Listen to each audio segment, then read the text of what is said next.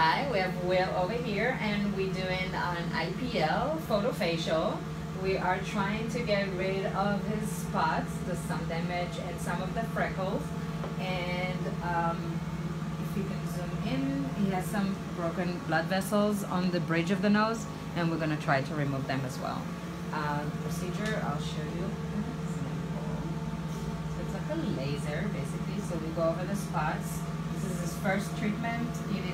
Series of uh, between four and five treatments. Um, and we space them three weeks apart.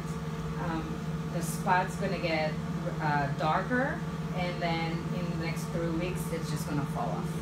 And then we'll come back again for uh, three weeks.